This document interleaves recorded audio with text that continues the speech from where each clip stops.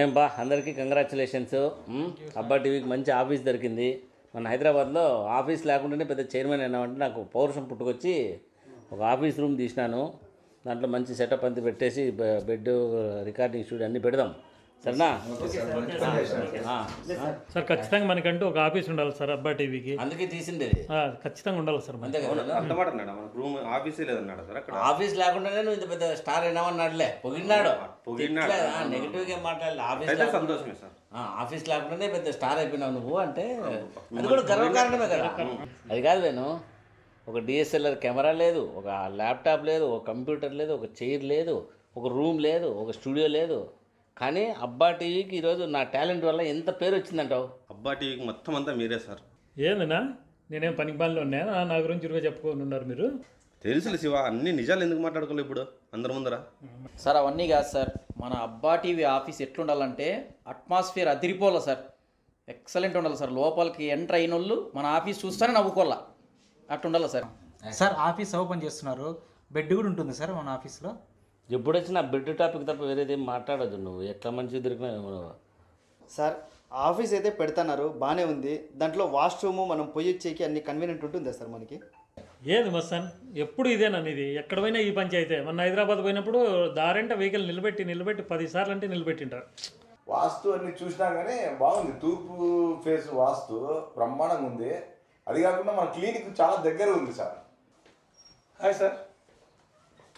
Thank you thank you అది Vishwanath so లైట్ల work అంతా నువ్వు చూసుకో ఫ్యాన్ వర్క్ అంతా నువ్వు చూసుకో. సరేనా? ఇంకేం రాజు ఏం సీరియస్ ఉన్నావు? మా మామ వచ్చినాడు సార్ పది దినాలు అయింది. చాలా ఇబ్బంది పెడతాడు సార్. మామ వస్తే ఇబ్బంది అంటావు? ఏమైందా? మామని బాగా చూసుకో నువ్వు అసలు. సార్ మామ వస్తే సంతోషమే. సార్ ఎప్పుడెప్పుడు పోతాడని ఎదురు చూసినట్లుంది సార్ నేను. ఏమో పాటల? ఏం మీ మమ్మీ ఇది అంత కసేమి?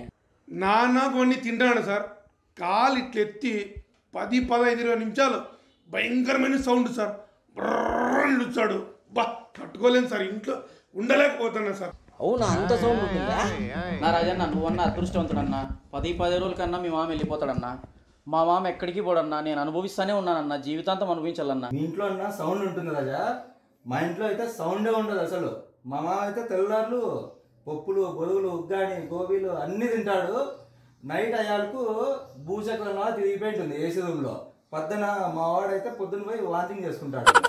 అంటే మీ ఇంట్లో ఆల్అౌట్ వాడాల్సిన పని ఉన్నదే ఆ భూచక్రం వాసనకి ఇన్ని ఈగలు చచ్చిపోయాను ఇక్కడే కాదన్నా బొద్దింకలు ఇళ్ళలుగా చచ్చిపోతాయి. సచ్చి సున్నమైంటే ఆ వాసన తట్టుకుంటారా? ఎవరన్నా కానీ అబ్బబ్బబ్బ.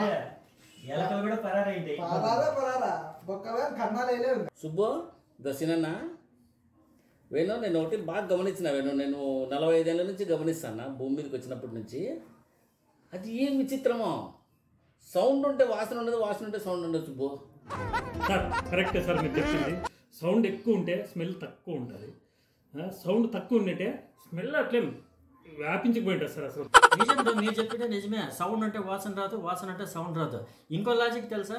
బాంబు వేసినట్టు మాత్రం ముక్కు మూసుకోడు మిగతా వాళ్ళందరూ మూసుకుంటారు. ఆ, భలే చెప్పినాలేనా ఆ, తప్పు చేసినాడల్లా పోయి పోలీస్ స్టేషన్ లొంగిపోతాడే ఏంది? సార్ మీరు అనుకుంటారు కానీ సీనన్న చెప్పింది వ్యాలిడ్ పాయింటే కానీ కొంతమంది ఉన్నారు సార్ భలే తెలివైన వాళ్ళు సైలెంట్ బాంబు వదులుతారు.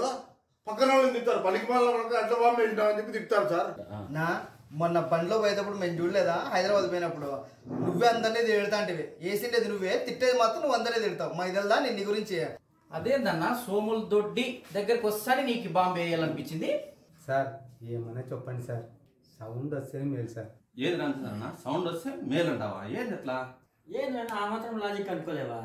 సౌండ్ వస్తే ఎంత బెనిఫిట్ అనుకుంటువి వెంటనే కిటికీలు కిటికీలు అని తీసేయచ్చు. మా తాత చేస్తాడో తెలుసా? సైకిల్కి సిగరెట్ ప్యాక్ పెట్టినంత సౌండ్ వస్తుండే. అన్ని లేచి డోర్లన్నీ ఓపెన్ చేస్తాంటివి నా బాగా చెప్పినావులేనా నువ్వు సౌండ్ వస్తే మేలు అంటావు. సౌండ్ రాకోకుండా ఉండేదే మేలు పది మందిలో ఉన్నప్పుడు సౌండ్ లేకుండా చేయాల. ఏదైనా కానీ అంతా నీలాగే సైలెంట్గా వేస్తారు అనుకుంటువి అని సైలెంట్గా ఉంటేనే బెస్ట్ నా. అందరికీ నీ మధ్య ట్రైనింగ్ అయి ఉండాలి కదా నేను సౌండ్ లేకుండా వేసేది ఉండాలన్నా అలవాట్లు కొన్ని చేసుకోవాలా పది మందిలో ఉన్నప్పుడు. సౌండ్ లేకుండా వేయాలా దానికి ట్రైనింగ్ తీసుకోవాలా? ఏంది ఇది పంచాయతీ అంతా గలీజ్ గలీజ్గా? ఏమన్నా చెప్పండి అబ్బా. ఈ వా వద్దా టాపిక్ వద్దబ్బా. సార్ మొన్న మాత్రం చాలా ఇబ్బంది పడినా సార్ ఇన్నోవాలో.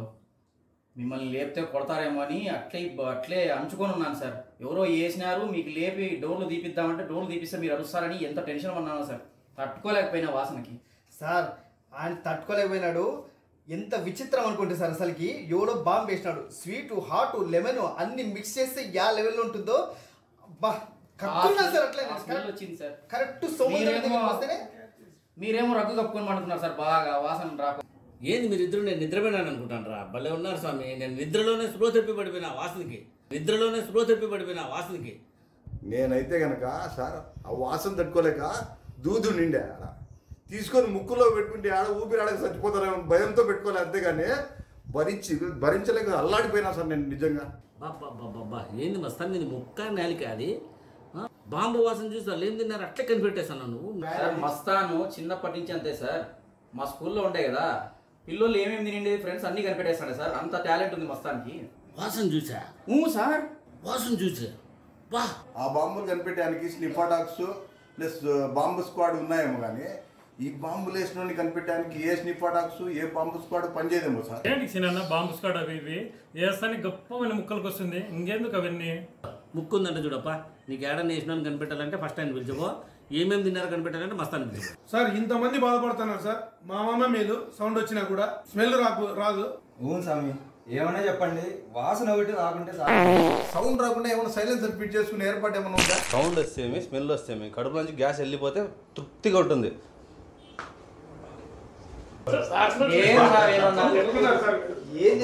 ఏమో నేను తిన్నాడో చెప్పు. ఒకసారి బయటికి పోదావరా బయటికి పోయి ఏందో చెప్పు. చెప్పు వాసన రాలేదా నీకు?